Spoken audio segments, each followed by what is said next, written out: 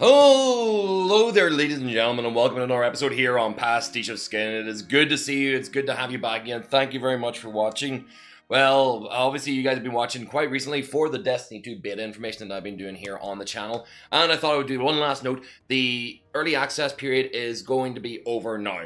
Everybody, everybody can go and play Destiny 2 beta as of the 21st of July. So go in there. You've got three days to enjoy it. It closes on the 24th.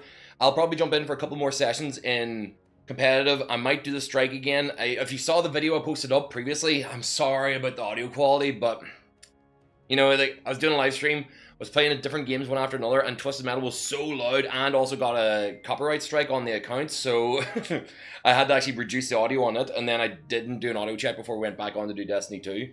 So we were left with a very, very poor audio for the majority of that entire strike. So I might go back, do it again. Um, probably do it during a live stream, so you guys are welcome to join me on the live stream to do so. But this literally, all this video was to do was to tell you that the Destiny 2 beta is available to everyone now. You can generally ignore the previous video I did. I might actually throw this as a card over the top of the first of that, just so that people know that it's no longer valid. But um, I hope you guys stick around. I hope you guys stay and enjoy the channel. I hope you find some content that you enjoy otherwise in the channel. Feel free to comment underneath it, share it, or tell me what it is that you think.